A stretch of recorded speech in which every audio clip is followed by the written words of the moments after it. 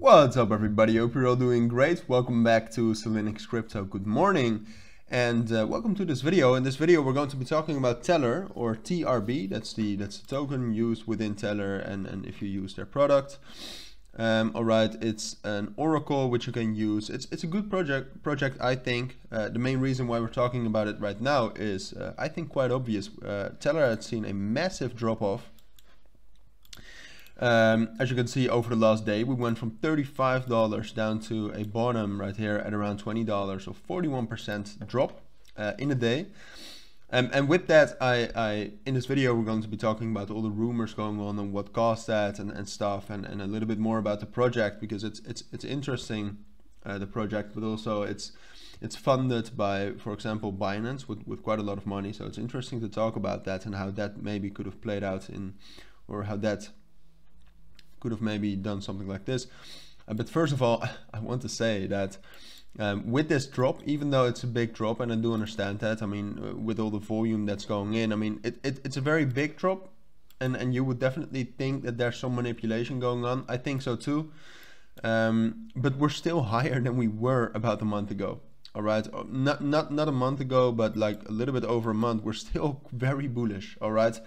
Um, so I would definitely not forget that. Uh, beginning of July, we were at $10. We're still more than 100% higher than that. Um, I would say that this move is a little bit little manipulated. Throughout the community, there are a lot of people saying that it's uh, it's just a correction. Um, with I, I think there's that there's a big chance that this is a correction, but uh, moves like these in 15 minutes, uh, those are too big. So I think there's some at least some whale manipulation going on. Um, but that's going on in every cryptocurrency. There's, there's nothing really to worry about yet, I think, with Tellor, unless there's something we don't know.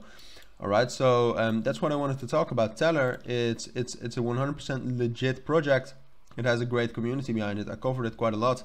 It's also funded by by Binance and by the Maker MakerDAO with in total I think like 400 million US dollars.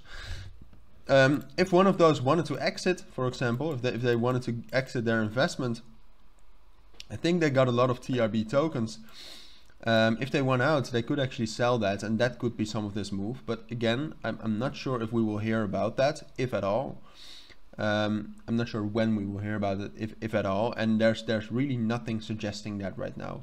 All right, that could be an explanation for this, but to me, uh, what looks to be more likely is just whale manipulation. There were also rumors going going around about the CEO being arrested, um, which I don't believe. She tweeted yesterday uh, that everything was okay. So unless that turns out to be true, if that turns out to be true, I mean we're dropping all the way down to uh, 15 or 16 dollars. Um, but there's no reason to believe again that this is true. From for, for me at this point of time, this just looks like a market correction and maybe some whale manipulation. All right, that just tends to happen with, with, with cryptos that are pretty small. I mean, TRB is, is only 38 million market cap. Um, if, if, if you're semi-rich, you could manipulate this very well. All right, so you should uh, definitely know that. Um, but yeah, so so what I expect for now, I, I, actually expect some bullish momentum off of that level to a maximum of around $26. Um, I think we can hold this level here between $20 and $21, but eventually that's just because I expect a little bit more of bearish momentum throughout the whole crypto market. Uh, I do expect us to drop down to this level here between $18 and $16, but that's that's just organic market movements, all right? So um, there's nothing to worry about yet. If there is something to, to worry about, it's, it's not out there yet.